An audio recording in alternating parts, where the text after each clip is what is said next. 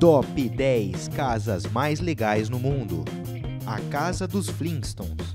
Essa homenagem ao clássico desenho dos Flintstones já chegou a valer incríveis 3,25 milhões de dólares, antes de seu preço ser reduzido para singelos 2,900 milhões. Localizada na ensolarada Malibu, na Califórnia, essa casa de um quarto e dois banheiros ocupa 230 metros quadrados, com seu interior totalmente inspirado no desenho. Inclusive, boa parte dos móveis são feitos de pedra.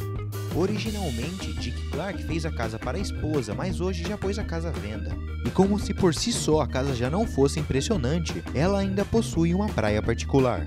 A Casa do Buraco Negro. Dois artistas de Houston transformaram o bangalô que estava prestes a ser demolido em uma bela obra de arte. Usando tábuas que vêm do lado de fora da casa, eles criaram uma espécie de túnel que vem desde a entrada até o jardim. A ideia inicial era ter criado uma casa que parece ter sido engolida por um buraco negro.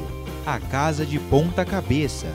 Situada em Simbark, na Polônia, essa peça arquitetônica mexe com o conceito de casa na cabeça de qualquer um. Morar aqui provavelmente seria um desafio, sendo que todos os móveis estão colados no teto, ou, devo dizer, no chão, o que acaba deixando os turistas ainda mais curiosos a cada cômodo. O interior é qualquer coisa menos moderno, principalmente pelas cores dos quartos do primeiro andar. Casa levou 114 dias para ser construída, feita pelo designer Daniel Zipowski, onde aparentemente teve a ideia com afirmação sobre o comunismo e o estado do mundo. O arranha-céu de madeira.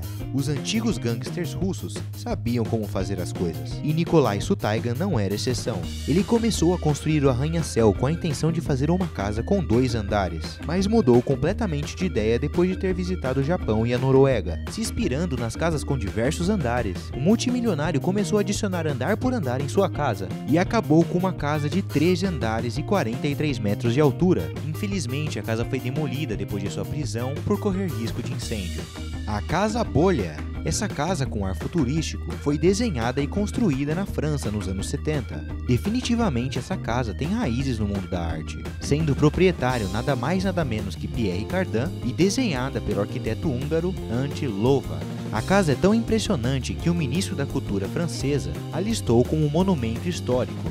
O interior é espaçoso e com formato oval, providenciando luz natural e diversas entradas para todos os cômodos, com diversas janelas estrategicamente colocadas para aproveitar a paisagem. A Casa do Elefante e do Hipopótamo. Essa casa criativa é uma obra de arte feita por Michael Kahn e sua esposa, Leda Levante. O casal construiu a casa usando diversos materiais encontrados num período de 28 anos. Foi um bom tempo investido, mas o resultado é simplesmente de tirar o fôlego. O interior tem um ar bem de natureza, complementado pela decoração feita em madeira. Sua entrada lembra a trompa de um elefante, da onde vem seu apelido. E como se não fosse o bastante, outra parte da casa também foi apelidada, só que dessa vez de hipopótamo, pois lembram hipopótamo submergindo da água. A Casa de Espuma. Rodeada por uma bela paisagem, essa casa arredondada de dois quartos e três banheiros é inteiramente feita por literalmente uma espuma de poliuterano. Construída em 1969, essa aconchegante casa foi inspirada em uma temática cheia de curvas. Se você é fã dos anos 70 e de casas com personalidade e originalidade, você vai considerar essa casa uma das mais legais do mundo. A Casa da Caixa d'Água. Essa caixa d'água transformada em residência foi construída há mais de 100 anos atrás. Com mais de 30 metros de altura, ela funcionou até 1990, quando recebeu reformas em sua fundação para a transformação. E em 2007, um estúdio de design tomou o projeto e transformou tudo isso em uma casa, com um incrível terraço com uma bela paisagem para o vilarejo de Stinokersville.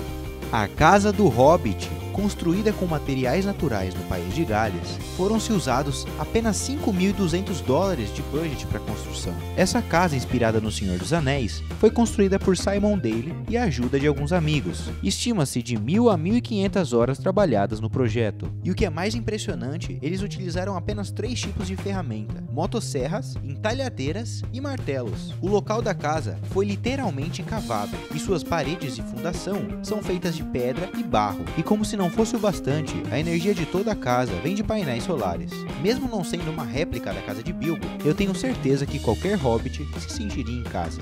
A Casa da Cachoeira. Essa casa se encontra na Pensilvânia, nos Estados Unidos, e foi desenhada pelo arquiteto Frank Lloyd Wright, fazendo com que a cachoeira ficasse exatamente embaixo da propriedade. Esse lugar é tão bonito que já chegou a entrar em uma lista de 28 lugares para conhecer antes de morrer. Construída entre 1936 e 1939, a casa é uma das mais famosas propriedades nos Estados Unidos. A residência realça a vegetação e água corrente que há ao redor, com suas janelas modernas fazendo com que os visitantes absorvam a beleza da natureza. O interior é espaçoso e decorado com móveis em madeira. Essa casa não é só incrivelmente única, e sim um triunfo na arquitetura.